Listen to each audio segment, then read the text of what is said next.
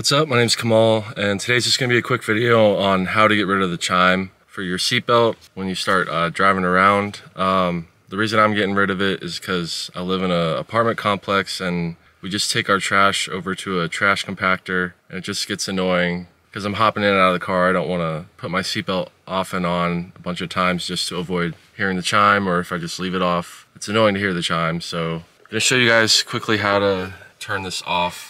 So the first thing you're gonna do is uh, we'll turn the ignition on, make sure it's set to the odometer position. I just have it on that position first. I'm gonna try to position the camera here because you actually need two hands for this.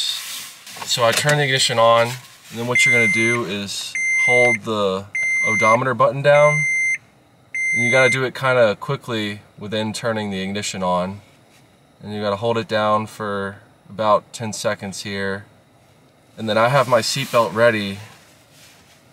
Let's just wait a little longer.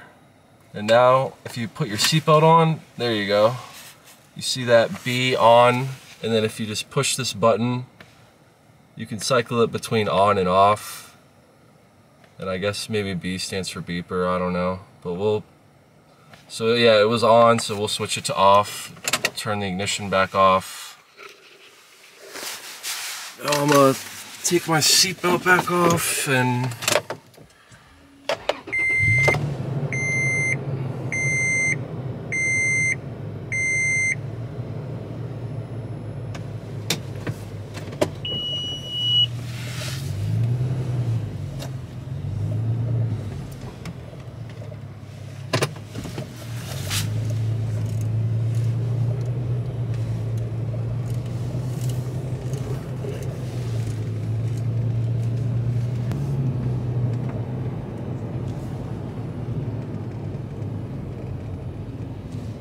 So yeah, as y'all heard, it still chimes initially when you turn the car on, but when I started driving around, it didn't chime with the seatbelt light flashing.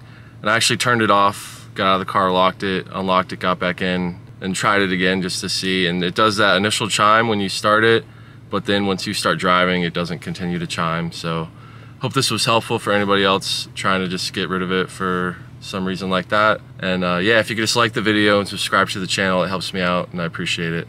And uh, yeah, we got a lot of FJ content. So if you want help with anything else, might have a video on it. So thanks for watching. See y'all in the next one. Peace.